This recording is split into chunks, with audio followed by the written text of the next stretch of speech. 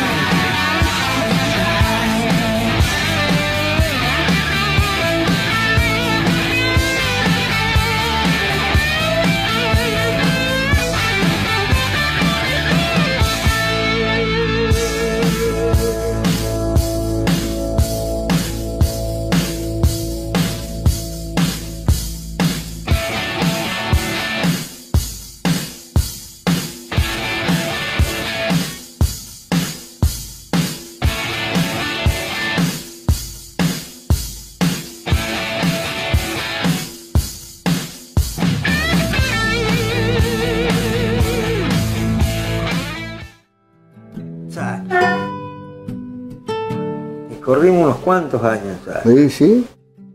Y, después hicieron desastre. Eh, de entrada hicimos desastre. Y después, bueno, eh, se saltó a... Primero fue la 175. Claro.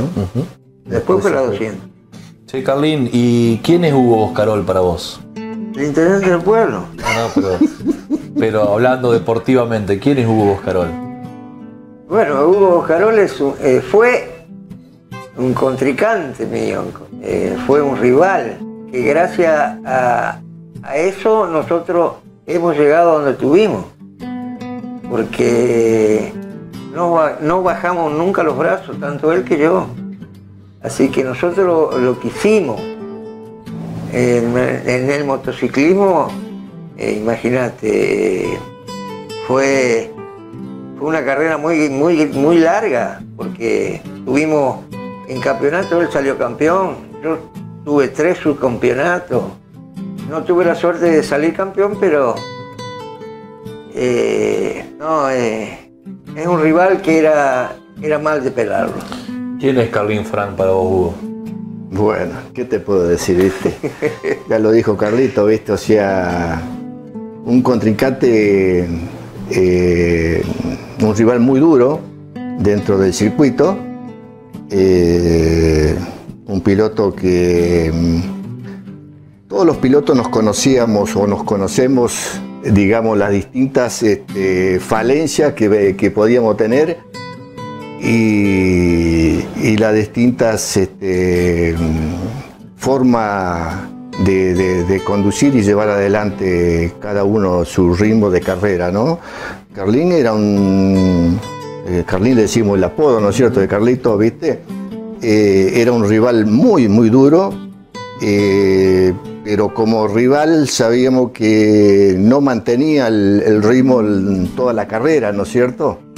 Y entonces había que, exigirlo para que se cansara cuanto antes y después de tratar de, el último poder, poder superarlo, pero era muy difícil superarlo, porque cubría muy bien las cuerdas, eh, era muy bicho, muy, muy pícaro, ¿viste? sigue eh, siendo pícaro. Y sigue siéndolo, pero también era una forma de, de tratar de salirle, era muy buen largador también pero mm, eh, era tratar de ganarle la largada como otros rivales, ¿no? ¿No es cierto? Ahora estamos hablando de, Carlito. Eh, era un rival que había que tratar de ganarle la largada, salirle adelante y manejar la carrera. Pero si, si él te llegaba a saltar adelante, era muy difícil eh, superarlo, solamente esperando la oportunidad, ¿no es cierto? pero era un piloto que te corría siempre a fondo él no era conservador, no era, era un tipo que iba siempre a fondo, no le importaba si ganaba por media vuelta, pero él no le perdonaba la moto, ¿viste? Eh, entonces era, hay que, era un piloto que había que respetarlo mucho. ¿Qué es el motociclismo para el deporte de Suardi? ¿O qué fue el motociclismo? el motociclismo para Suardi, imagínate. Eh, nosotros eh, lo primero que empezaron fueron eh, Oscar Marengo, eh, toda esta gente que con la Tehuel que corrían. ¿En qué año, Carlín? Eso, ese es el problema que yo tengo. ¿Ustedes en qué año aparecen en el, certamen argentino de motociclismo? ¿Recuerdan o no? Mm, si te digo la verdad, no. No porque. porque empezamos. Claro, es. Primeramente se empezó, ¿no es cierto?, con la, espuma, ¿no es cierto? o sea, era, era zonal que después era el zonal de Humboldt, se corría, y después recién surgió el certamen argentino de motociclismo, cierto? que empezamos a, correr en, la eh, promocional, en 100 libre, bueno, yo no corrí en 100 libre, pero vos Carlito corriste en 100 libre y pasó a las 175. 23 años con seguridad corrimos los dos. 23 años. pero no fue al, continuo, digamos, por ahí hubo años que no hemos corrido, tanto uno que otro, creo que no, no hemos corrido eh, principalmente yo, ¿viste? No he corrido y, después volvíamos de nuevo, ¿viste? Y eso es lo que le llamaba la atención a, los otros pilotos, que por ahí dejábamos, tanto Carlito que yo, no, volvíamos a la pista a, veces un año y volvíamos el otro año y seguíamos estando en la punta, ¿viste? Eh, eso es lo que se extrañaba, a veces los pilotos éramos todos rivales dentro de la pista pero después eh, afuera, viste, comíamos asado, nos prestábamos los repuestos, tantas veces, viste, se hizo intercambio de repuestos, se prestaba, que uno necesitaba. Eh, antes no había la, comodidad que hay hoy, los fierros no eran los mismos de hoy, tota-, eran totalmente distintos, se rompían mucho más, viste. Eh, hoy es totalmente otro fierro, otra, otra eh, preparación, entonces, pero había una unión, una unión muy, muy buena, más allá que dentro de la pista cada cual quería defender su nombre, su, prestigio. Lógico, ¿Creen eh, que... Sí. No, eh, te quiero decir que las motos nuestras Por empezar, las cubiertas eran imposibles de, conseguirlas. Venían y tenían un valor de tiempo, eran italianas, vivas. Y los motores nuestros, lamentablemente, no se Nosotros lo que nos bajamos de la moto, el motor iba al mecánico, cuando había carrera volvía el motor, lo colocamos, lo poníamos en marcha, íbamos a correr. Nosotros no probamos nunca. Ni uno de los dos iba a una pista a probar, a ver eh, suspensión. No, no se podía, porque el motor eh, son motores que duraban lo máximo dos, dos carreras al pistón y tenía que cambiarlo, la biela lo mismo. Eh, realmente eran motores muy costosos, muy costosos. ¿Creen que el, motociclismo, eh, con el furor de, ese momento, es el, como el gran suceso deportivo de, de Suardi? ¿Que se pudo igualar con alguna otra disciplina o no? Mira, el deporte, eh, imagínate, a nosotros, bueno, nos gusta el motociclismo, como a otro le gusta el fútbol, como natación, como todo deporte. Eh, yo pienso que Suardi, eh, en la parte nuestra, lo hemos defendido muy bien. nosotros fuimos a correr a todos lados y, a Suardi siempre lo estamos nombrando, lo nombraba. Y bueno, ahora Hugo, imagínate, se tiene que sentir orgulloso de ser intendente del pueblo, de la ciudad de Suárez. Así que bueno, eh, es así. El, eh, acá hay dos clubes, bueno, tiran para un, para un lado, para el otro, pero van adelante. Es fundamental. ¿Cómo era, Hugo, tener gente que, que te siga, pero también gente que no te seguía, lo seguía Carlín? ¿Cómo era esa parte? Y bueno, esa era una rivalidad, rivalidad que teníamos Carlín y Boscarol dentro de la pista y la otra rivalidad era la que vivía la, hinchada. Pero mm, creo que fue bueno, eh, yo creo que todo tiene que tener su, hinchada, ¿no es cierto? Eh, por eso te digo que más allá a veces de la pelea que uno tenía dentro del circuito, eh, eso ha hecho a fortalecer el motociclismo en Suardi, a crecer el fortalecimiento, el, fortalecimiento del deporte motor en Suardi, porque si no era uno o el otro, estábamos siempre en la punta y, podíamos, eh, no digo de ganar, pero estar ahí dentro de los dos o tres primeros, ¿no? E, eso fue lo que le dio la porque Carlín me quería ganar a mí y yo le quería ganar a él. Vamos, es claro, ¿viste? Eso era, era, lógico. era lógico, ¿no es cierto? Él, tenía su equipo, yo tenía. Era un clásico. Clásico de, pueblo. Eh, el clásico, el clásico del pueblo, tradicional, ¿viste?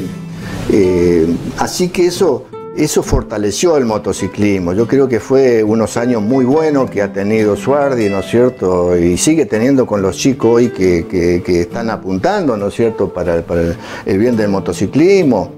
Eh, yo siempre hago hincapié a los chicos que, practiquen cualquier disciplina deportiva, porque soy un convencido que eso hace al, cuidado del organismo, del, cuerpo, del físico, eh, a lo largo de, la trayectoria de la vida de, una persona, eso fortalece mucho, ¿no? Eh, cualquier disciplina de deporte. El motociclismo eh, requiere mucha fuerza en las piernas, en los brazos, ¿no es cierto, Carlín? Viste que eso, eso requiere muchísimo.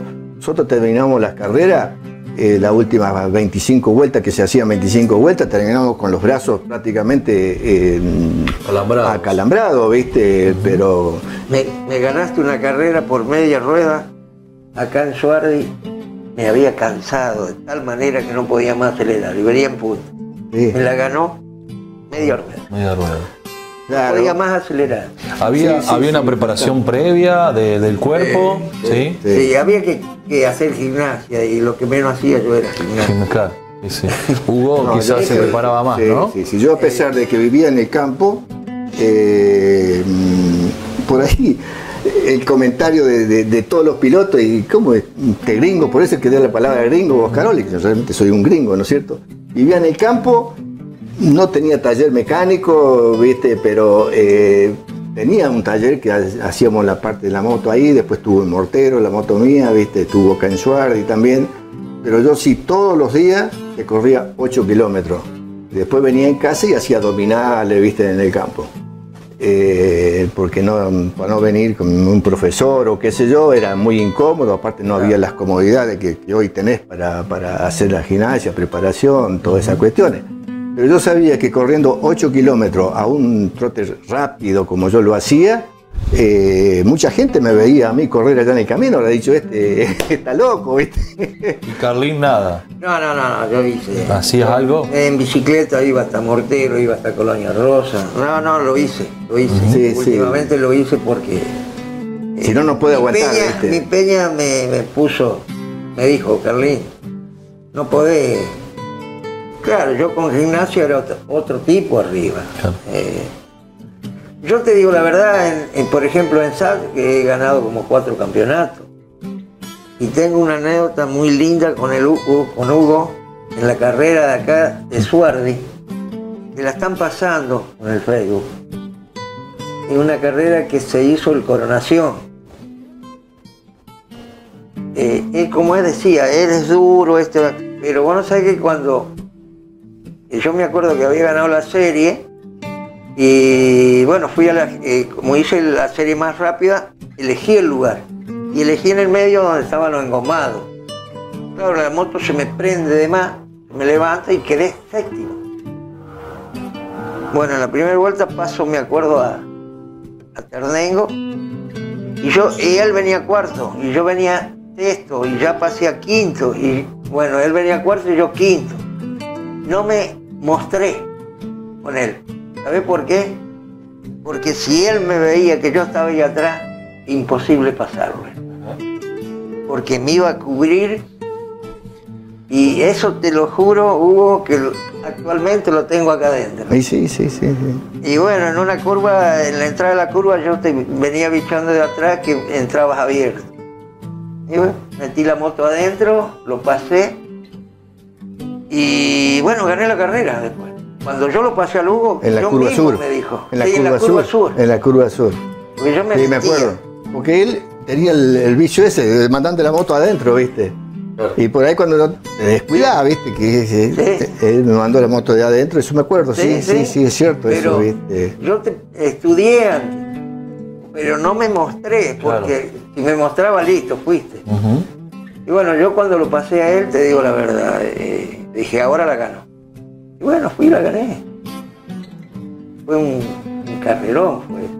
Sí, de aparte, eh, como dice Carlito, es cierto, tiene razón, porque vos cuando eh, tratás de igualar a la moto, escuchabas ya el ruido de la moto si venía de adentro o de afuera. ¿eh? Claro. Entonces, viste, es una picardía de- del piloto, Sí, es sí, una astucia, ¿no es cierto?, de ver, eh, de esperar el momento y, y pegar el paso justo, eh, eso es importantísimo. Sí. No, eso me quedó grabado, te Sí, digo la sí, verdad, me sí, quedó sí. gra- grabado.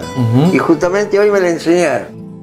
Mirá vos. Y bueno, eh, y le contaba cómo era, ¿Cómo fue la- el, cómo momento, fue, no? cómo fue el momento. Sí, sí. Sí, después... Ahí eh, pensaba, hay momentos que, imagínate, yo eh, en el, el último, el 93, eh, había corrido cuatro carreras, había ganado tres.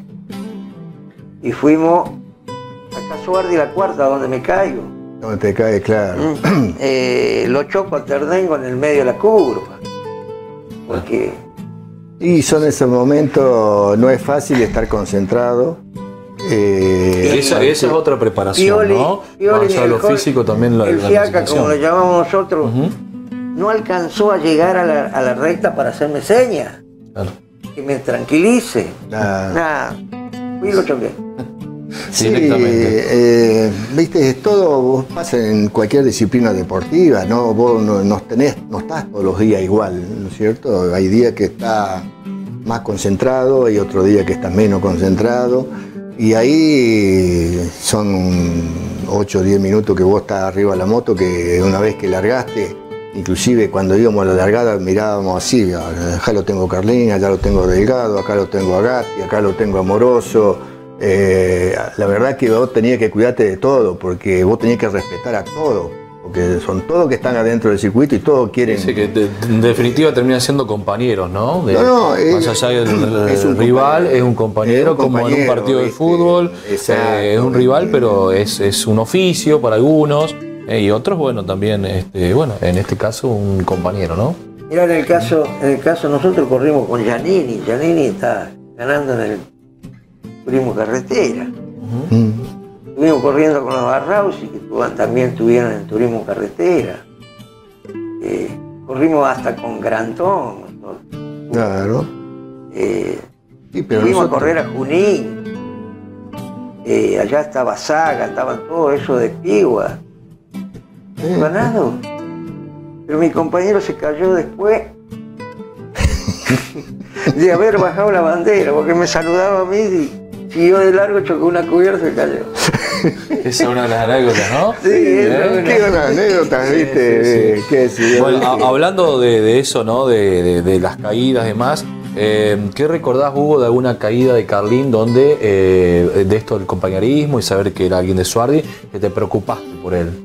Fue una carrera en Brima, no me voy a olvidar nunca.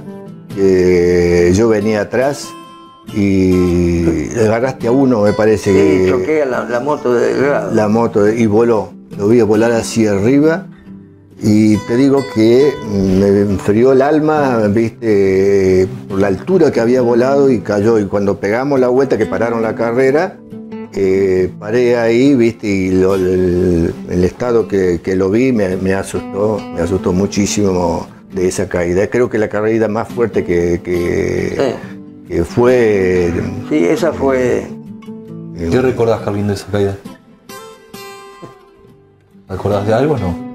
Eh, no, no es que no me acuerdo, me acuerdo. Porque yo sé que agarré la moto.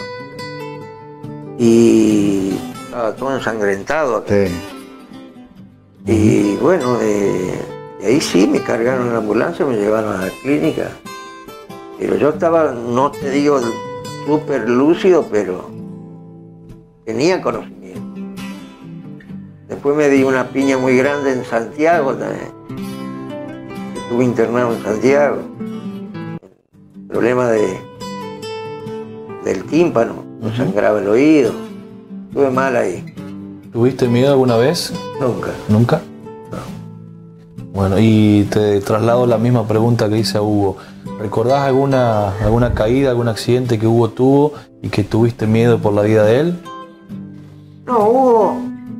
El único, yo me acuerdo de ese accidente que tuvimos acá en Suardi, que, que- que yo iba delante de él. Y él me toca la rueda trasera con la rueda delantera, tuya. sí. Y se cae. Y ya terminaba la carrera. Y, que la- y bueno, yo paré ahí, y- pero estaba bien. Pero no, Hugo no fue de. No me acuerdo de, de haber, haber visto alguna piña grande de él, no, no recuerdo. No. Hugo, ¿qué recordás de, de lo que cuenta Carlín o de algún momento Sí, tuyo? la- la- yo tuve eh, dos piñas fuertes, digamos, y que prácticamente había quedado inconsciente, ¿viste? O sea, que fue la de San Guillermo, que esa Ah, carrera la había ganado vos, Carlito. Sí, eh, con Eh, Mondino, sí. con Mondino, razón, exactamente, sí. donde se me Sí. engranó el motor en plena recta, ya prácticamente entrando a la curva, se engranó el motor, me choca Mondino de atrás y yo salgo Disparado. disparado, ¿viste? Eh, donde pego con la cabeza, se parte el casco y dice que corrí como 50 metros, no sé, dice que me deslicé. Bueno, cuando me desperté estaba en la clínica. Eh, pero no tenía, digamos, Nada grave. nada grave. Yo no tengo ninguna quebradura, nada, ¿no? Yo corrí 20 años, pero no tengo ninguna quebradura, ¿viste? Gracias a Dios. Eh, tuve suerte, mucha suerte, porque lo primero que se quebra un Sí. piloto es la clavícula. ¿Tuviste miedo alguna vez, Hugo? yo una sola vez que tuve un accidente en, en como es en Justiniano Pose, eh, donde me había golpeado muchísimo. eh, esos golpes que duele son los que, te quema la, la pista, te quema el, el buzo. No teníamos los buzos que hay hoy. eh, eran buzos de cuero y te quemaban. y bueno, me había pelado por todo el cuerpo. Y cuando venía, paré en mortero a hacerme revisar todo, gracias a Dios no tenía nada, eran todos pelones, pero de esa vez eh, dije no voy a correr más, ¿viste? Pero claro, a, los 15 días ya estaba arriba la moto de nuevo, ¿viste? Yo creo que no, vos para correr, como dijo Carlito, miedo no. Por ahí lo que yo pensaba en ese momento era, ¿por qué tengo que hacer esto? Si esto no es el futuro mío, eh, es un hobby. Pero vos cuando estás dentro de la pista te olvidás y Claro. que querés ir al frente. Y ese día por el, el gran dolor que tenía en el cuerpo, estaba todo pelado, una cosa de- tal es así que después para dormir se te pegan las sábanas en todos lados lo que suporan, la- la- las quemaduras, pues son quemaduras, pero mm, eh, a la semana ya estaba bien, porque tenía los médicos que, que te daban pomada, viste, que Los se... pelones nuestros son quemaduras de tercer grado. eh, Es una. una cosa que, que- Sí. Bravo, ¿no? es bravo, viste. La rodilla, bueno, la gracia que se ve que va renaciendo nuevo el, el cuero sería. Pero sí, sí, nos falta mucho eso, ¿eh? Eh, Muy Y mucho. quedaba- Está bien. Totalmente distinto los chasis que, ten- que Sí, hay hoy a lo que teníamos nosotros. Con un motor de 40 caballos de fuerza. Quizás más. Eh, sí, se hablaba de 45 arriba, ¿no? Sí. ¿Viste? Pero Sí. bueno, yo no, no lo quise exagerar, pero es, es así como dice Carlito. eh, con un chasis donde no tenía suspensión, no tenías freno, no tenía argumento, Era gomas. artesanal el chasis. Claro, sí, sí, era. Lo que, lo que está graduado actualmente es lo que nosotros corríamos. Claro. Ese sería el chasis. Imagínate un 450, un, dos- un 125, tiene todo. Todo lo que le busque tiene. Eh, sí, sí, sí. Vos fíjate, nosotros, ¿qué hacíamos? Mirábamos los porteños, ¿viste? Cuando venía la Cunza, Moroso, Chinasi, qué es lo que tenían ellos, y después nosotros teníamos que ver cómo conseguir algo parecido o igual que ellos. ¿Viste? Por ahí ellos nos traían a nosotros. Eh, pero te lo cobraban el doble, ¿viste? el doble, sí, sí, siempre estaba. Eh, estaba, Sí, ¿viste? chasis, Adelantados. Pero- suspensión, eso tenés que, teníamos que ir a Buenos Aires. Yo fui a Buenos Aires a comprar todo. Yo fui, me acuerdo que estaba Néstor Amoroso, un gran pibe, buenísimo, la familia también. Fui y le, lo, le copié el chasis. Y lo copié. Hice todas las cosas como, eh, y aparte él, bueno, y ahí, como dice Hugo, nosotros eh, le empezamos, porque nosotros teníamos grandes motores, pero no teníamos chasis. Mm. Ellos venían con eh, los motores aspirados, aspirado quiere decir carbu- carburadores aspirados por pistón. Y nosotros teníamos los válvulas, como ve la moto. El torque era totalmente distinto. Exacto. Nosotros teníamos una potencia, imagínate, tenías que acelerarlo a veces cuando lo tenías derecho. Y ellos venían con esto y no, no hacía sonar. Y bueno, fuimos, fuimos, fuimos hasta que una vez que conseguimos todo, no, ya ahí cambió las cosas. Ahí fue ya, Más parejo. sí, más parejo. Nosotros teníamos que ver, viste, dónde acelerar, cómo acelerar, no acelerar brusco. O sea, tenía que tener una concentración muy especial arriba, viste. eh, porque no tenías eh, cómo, viste. En vez con un motor más suave, como era aspirado normal, más suave, todo eso, ellos aceleraban antes, salían más fuerte y aprovechaban más eh, la velocidad. eh, quizás a lo mejor tenían menos, menos potencia en el motor, eh, menos. velocidad final también pero sí lo aprovechaban más en el circuito, y más cuando un circuito flojo, ellos lo aprovechaban mucho más, porque era más suave y la moto salía más eh, suavecita, bien. En nosotros teníamos que tener mucho cuidado cuando vos la llamabas a la moto, a dónde la llamaba, cómo estaba el piso donde vos llamabas, o si tenías que esperarla un poquito más, ¿viste? Era, era, tenía que trabajar mucho la mente, la concentración arriba, ¿viste? Sí, el, ac- el acelerador era fundamental. Sí. Imagínate, ellos corrían eh, hasta baj- a veces bajaban dos cambios. Y nosotros corríamos en directa. Directa quiere decir en quinta. Mm. Y bueno, hasta que el último. Pero fue lindo, fue muy lindo correr contra ellos. Carlín, eh, si Hugo Boscarol no hubiera corrido motos, ¿Carlín sería Carlín? Bueno, Por esto de, de- de la competencia, de, de, bueno, yo quiero ser, quiero estar adelante eh, y esto que contaban, ¿no? no, nosotros éramos rivales, pero nosotros. eh, Porque, Por ejemplo- A ver, Carlín, hay una popu- popularidad de la gente, eh, bueno, Carlín, Hugo, y bueno, mucha gente por un lado, por el otro, y otra gente con los dos. Pero digo, eh, si no hubiera existido uno o el otro, eh, ¿hubiera sido popular eh, cada uno de ustedes? Buena y pregunta. ¿no? Es buena pregunta y hay que pensarlo. Pensarla la pregunta. No sé, porque nosotros éramos rivales, al ser rivales hacíamos más de la cuenta, pienso. Por eso, eso a eso apuntaba, ¿no? Yo quería ser yo y Hugo quería ser él. Nosotros íbamos a la pista y, y no solamente pensábamos en Chinacio o en Lacunza o en Amoroso o en Delgado, no, no. pensamos en nosotros, también me tocó el gringo a mí. Y yo le decía al gringo. Y bueno, eh, yo pienso que eh, los dos hicimos para ir para adelante, pero al quedar uno solo, ya no es. Yo pienso que no era, no iba a ser así. Hugo, si Carlín no hubiera aparecido en motociclismo, ¿Boscarol sería Boscarol o no? Yo creo que no.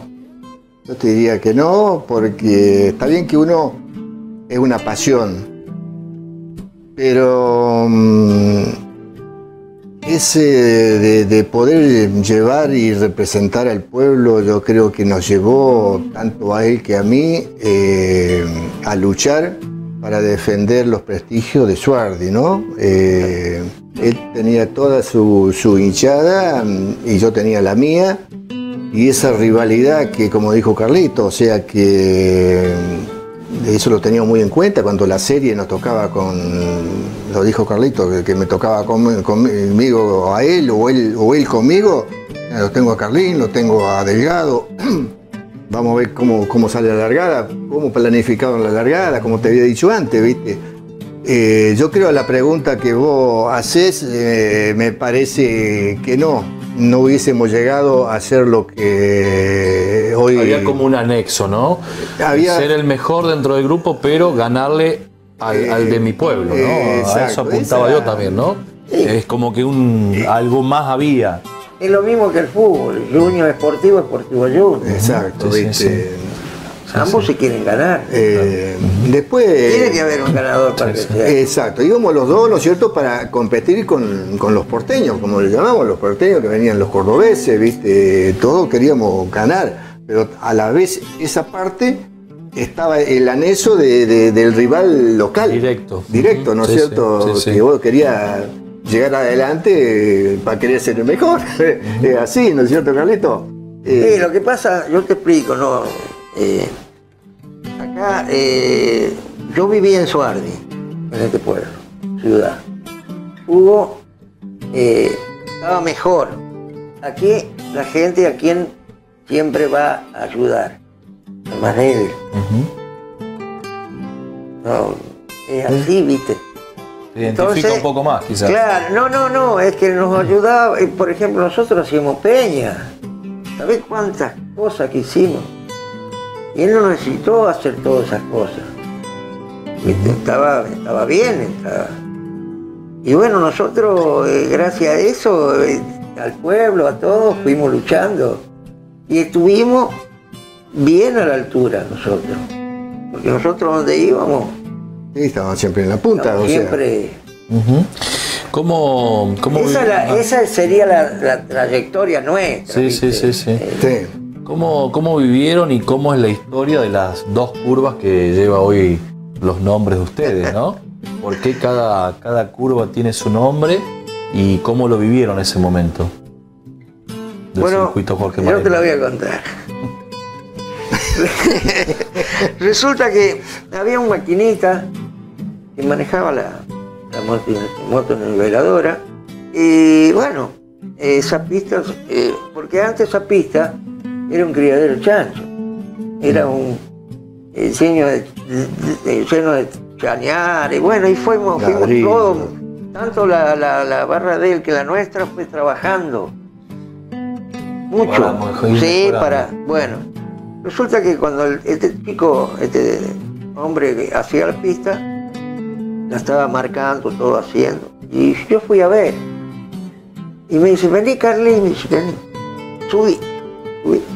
Bueno, Carlín, acá te hago, esta curva es para vos. Acá tenés que tomarla, entrar abierto y acá cerrarte y salir. Te la hago para vos. Ya que es tuya esta. Bueno, bueno, Jiménez era, ¿no? Viene. Bueno, yo me iba, fue Lugo a ver la pista. Le hizo el mismo trabajo, Pero pero, la la, curva sur, la curva norte. La curva norte, viste. Así que ahí está, ¿eh? una con un nombre y la otra con ese otro. fue, Claro, y se dio así. y se dio así. Que yo doblaba mejor en la curva norte Sí, y yo doblaba y él en doblaba mejor sur. en la curva sur, viste. Que, eh, yo cuando lo pasaba a él, lo pasaba principalmente en la curva norte. Y cuando él me pasaba a mí, me pasaba en la curva sur, viste. Es algo que hablamos antes, viste. que- Sí, sí, sí. Eh, ¿Y cómo vivieron ese reconocimiento de que hoy lleven sus nombres? Más allá de la historia y de todo, ¿cómo, cómo vivieron ese momento? No, realmente- más allá de que la comisión y que la gente de Suardi, bueno, todo el certamen argentino motociclismo ese día los reconoció también. Y bueno, mira, eh, por ejemplo, eh, esa pista, eh, honestamente, nació porque éramos los, los dos que estamos corriendo en Suardi. Y bueno, y Suardi tenía que tener una pista. Antes se corría en esportivo, en el club, alrededor de la cancha de fútbol. ah, Esos son los atrios. Bueno, después se hizo otra acá cerca de, de Cela. Y bueno, ahí, eh, yo, por intermedio de, de Omar Genovese, que creo todo eso, yo no, me, no recuerdo bien. Bueno, dieron ese lote y bueno, se hizo la pista ahí. Eh, así que de ahí nació todo. Pero no me acuerdo lo que me habías preguntado. ¿Cómo, ¿Cómo viviste el tema este de que sean reconocidos con cada uno el nombre de la curva? ¿Cómo viviste ese día? ¿Cómo lo Y lo viví. Lo que pasa es que nosotros hace, hace mucho que no- nos veníamos, que esa curva era mía, la otra. Bueno, eso pienso que lo hizo el gringo Mondino. Él hizo eh, todo eso porque él sabía. Y bueno, nos, pienso que fue una... Para nosotros fue muy bueno porque eh, tenemos un, un reconocimiento siquiera. De decir, bueno, esta es mi curva y esta es la curva de Hugo. Claro. Y bueno, es- imagínate, eso fue eh, grande para nosotros. Hugo, ¿cómo viviste ese día?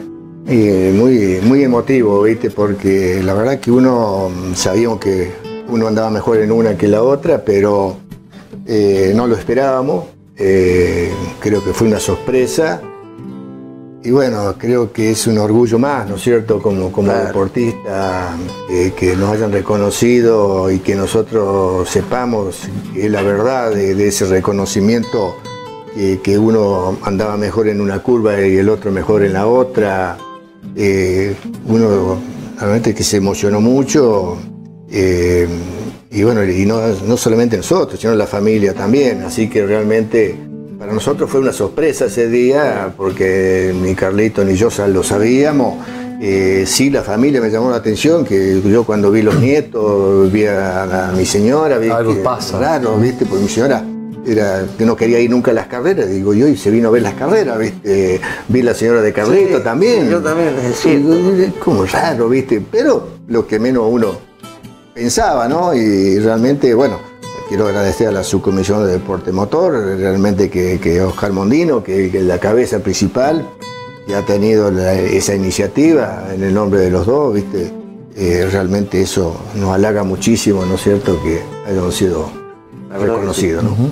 Recién antes de empezar veíamos en una revista algunas imágenes y recordaban un poquito. eh, ¿Qué les pasa por la cabeza cuando ven esas imágenes de, la historia ustedes? Mira, ¿querés que te diga una cosa que a veces me da ganas de llorar? ¿Sí? ¿Pero de alegría o de tristeza? No, de alegría. De alegría. Todavía. Porque uno, nosotros, lo- tanto él que, no- que yo, lo, lo llevamos muy adentro el motociclismo. Y fíjate vos que yo tengo 67 años y estoy yendo con mi hijo a, a las carreras. Y, y no me canso de, de- de estar con las motos de carrera. Es una pasión que yo tengo de Y bueno, a veces me la en los ojos porque eh, hablo con sentimiento y lo que me gusta a mí. Ujú. Hugo, ¿qué te pasa cuando ves una imagen del recuerdo? Mira, eh, como dice Carlito, ¿viste? muchas veces mm, esa emoción que uno quizás por la edad ya no, no tolera, digamos, esas emociones, antes, ¿no? ¿no? Vos te pones a mirar las fotos, eh, algunas filmaciones, porque en los últimos Sí, sí. años ya, ya había filmaciones, te pones a Sí, mirar eso teníamos todo eso. y realmente dejarle a eso a, la- a una familia que nos aguantó toda la trayectoria deportiva, porque eso hay que tener en cuenta, ¿no? Que no es solamente nosotros la opinión, sino toda una familia por detrás. Eh, tanto Carlito que yo, éramos los dos estábamos casados, teníamos hijos, eh, y había toda una familia que, que- que nos seguía, que sufrían quizás más que uno. Entonces, vos ves eso y viene en la mente un montón de cosas eh, que decís vos, mi pasado, que, que amigos de pista, compañeros, lamentablemente no están más con nosotros, perdieron la, la vida dentro del circuito. Entonces, eh, decir, nosotros tenemos la suerte, gracias a Dios, de estar acá, los dos todavía, viste, eh, en trayectoria, en, en- en trabajo, eso te, te- te emociona, te emociona muchísimo, viste. A mí por lo menos, viste, Sí, uno lo, sí. lo- lo siente, vos ves las fotos, ves las filmaciones, por ahí ves algunas rodadas de, de- uno mismo o de, de- un amigo, éramos todos amigos, pero de- y vos decís, mirá vos qué golpe o qué golpe injusto, qué sé yo, viste, porque a veces hay caídas que vos decís, eh, vienen inesperadas, ¿te das cuenta? Hay veces que sabés cuando vos te das cuenta cuando ya no va a tener más Cuando no la podés más tener, ya- Exacto. te- entonces te, como que escapa te enroscas y entonces va dando vuelta. Pero hay caídas como esa que yo te comenté de Carlito que me había asustado, esas son inesperadas, porque Ah. se te cae una un, un piloto adelante, vos lo agarrás, vos volás sin ninguna defensa. Entonces ahí no te da lugar a que vos te puedas enroscar y dar vuelta. y- Sí, entonces- porque vos, es cierto lo que dice, porque cuando vos eh, vas con la moto, vas derrapando, eh, ya, ya vas, es- ya vas sabiendo ya que viene el tumbo. Y no hay que agarrarse de la moto, hay que soltarla la moto. sí, sí, sí, cuando- Entonces vos la soltás y la moto te larga. Pero si vos vas agarrado a la moto, te golpeas con la moto. Me guardé la, mi mejor pregunta para, la para el último. Eh, Hugo, si volverías a nacer, ¿volverías a, a correr? Qué buena pregunta. Buena pregunta, ¿no? Bueno, Carlín también ya está hecha la pregunta. Si volverías a Yo, nacer. eh, responderte esto, te diría que si volviera a nacer y tendría la- los mismos sentimientos que, que he tenido cuando yo era joven, te diría que sí. Porque eh, mi, mi idea era llegar a correr en auto, pero no había recursos, no había mm, cómo llegar, ¿viste? Eh, no había medios como para correr en auto. Pero la idea mía siempre fue esa, mi pasión, digamos. Eh, pero eso tenía cuando tenía 17, 18 años, ¿viste? Eh, con esa, esa, esa mentalidad. Eh, si yo naciera de nuevo, fíjate que mi hijo no corrieron. Eh, tampoco lo inculqué para que corra, ¿viste? Uno conoce el peligro, no sé. Eh, no sé qué decirte, es una pregunta muy... Yo si naciera con la misma eh, intención, yo te digo que sí, porque a mí me fue bien. Yo estoy agradecido de Dios, de la familia, de todo que me ha acompañado. He tenido la suerte de salir campeón, y de esas cosas, así que no, no puedo decir no, no correría. sí lo correría de nuevo, ¿viste? Carlín, si volvés a nacer, ¿volverías a correr? Bueno, mira, es como dice Hugo. Eh, yo también tuve, tengo la familia y la verdad no, no los hice correr tampoco.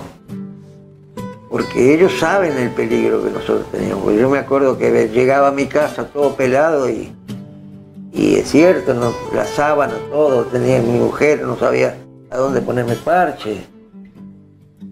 Y bueno, si volviese a nacer, yo te diría que sí, vuelvo a correr. Vuelvo a correr porque, eh, eso fue... Lo que pasa que fue mucho anterior a todo esto, lo que nosotros... Y, si en este momento hubiese nacido ahora, qué sé yo, no sé qué decirte, pero eh, hubiese- yo sí hubiese corrido.